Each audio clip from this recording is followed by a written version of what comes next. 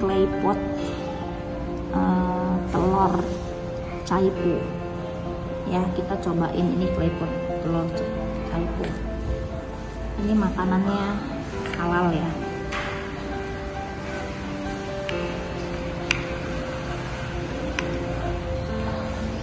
Kita cobain ya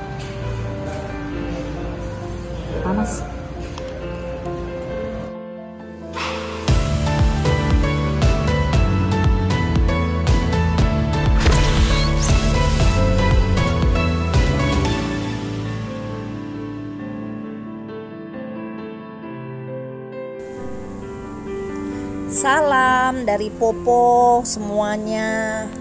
Info kali ini makanan rumahan masakan Popo di Claypot Kelapa Gading. Restoran ini menunya berbahan dasar nasi dan miswa. Makanan sederhana, bukan makanan mewah. Teman-teman, langsung aja ya lihat videonya sampai habis. Jangan lupa di like, sub, dan klik loncengnya buat yang belum subscribe. Terima kasih ya.